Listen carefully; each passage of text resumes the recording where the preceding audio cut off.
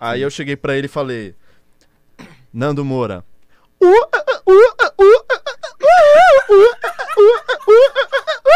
Ele olhou pra mim e falou: O quê? O quê? Aí ele olhou e falou: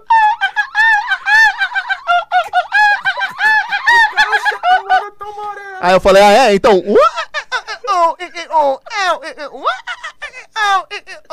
Ele não satisfeito, mas não.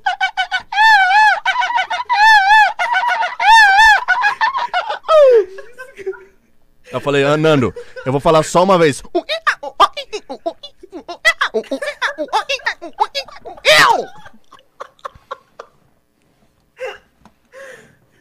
Que que é isso, cara? Foi incrível, velho.